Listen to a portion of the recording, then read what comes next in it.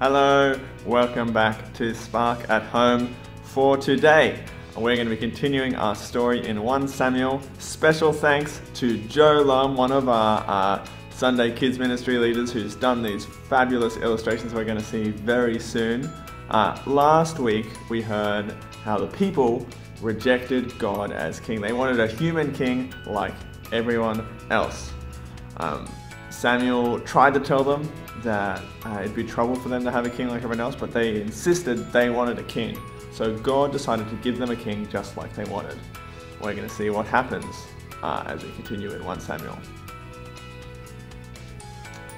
Now God told Samuel he'd meet a man. And that very day Samuel met a man named Saul. Saul was looking for some donkeys he'd lost.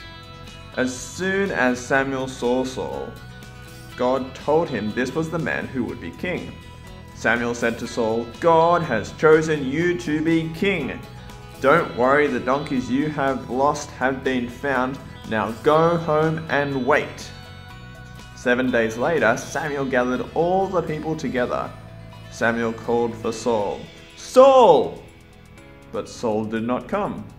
God told Samuel that Saul was hiding amongst the bags. And that's where they found Saul, their king, hiding. But when the people saw how tall and handsome Saul was, they shouted, Long live the king! Saul looked like he'd be the perfect king, but it wasn't long before that king turned out to be a disaster. Not long after, God's people went off to fight their enemy, and God had told Saul to wait until Samuel came. Samuel was the one who was to offer the special sacrifice. But Saul's men were becoming increasingly afraid the Philistines might attack them at any moment. Some of Saul's men began to run away, so Saul panicked. He couldn't wait any longer for Samuel. So Saul did what God had said only Samuel should do.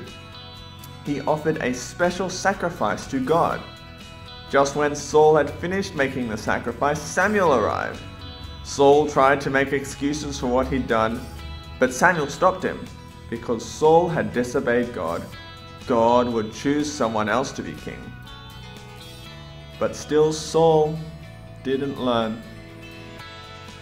Not long after, Saul went off with his army to fight another enemy. God had told Samuel to tell Saul that he would win the battle, but when he did, he had to destroy everything that belongs to the enemy. That's exactly what happened. Saul won but he decided to keep his enemy's best sheep and cows. Saul went to Samuel and said, I have obeyed God. But Samuel could hear the noise the sheep and cows were making. First, Saul blamed his soldiers for keeping the sheep and cows. Then he said he took them so he could offer them as gifts to God. And finally, he said he took the sheep and cows because he was scared of the soldiers excuse after excuse after excuse. Saul had disobeyed God, but he never admitted it, and he never said that he was sorry either. The people wanted a king like all the other nations, like everyone else around them, and they got a king who looked impressive, who looked the part. Saul was tall and handsome, he looked like he would be a great king. But he disobeyed God over and over again, making excuses over and over again. He did not listen to God.